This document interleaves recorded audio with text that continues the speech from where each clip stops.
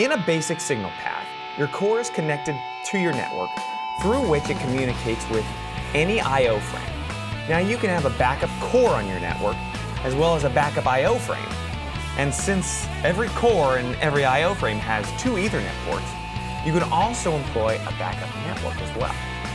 Now, in addition, you can have an amplifier redundancy with the help of QSC's DAB801, which is the data port amplifier backup panel. Now, we're going to simulate a possible failure for each of these elements so you can see for yourself how the system reacts. Now we're going to simulate a core failure by unplugging the power to the actual unit. The network will switch over to the secondary core, and as soon as that core is active, we'll receive a notification of what has happened.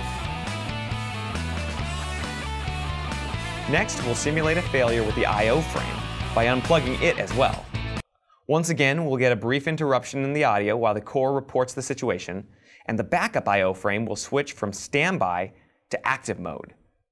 The amplifiers all shut off, so there are no pops in the system. As soon as they're back up, our audio is restored. We can also unplug the Ethernet cable. And because this network is redundant, you'll notice that we won't have any audio dropout as long as one cable is plugged in. We can take one out, trade one in for the other, and the audio will continue uninterrupted.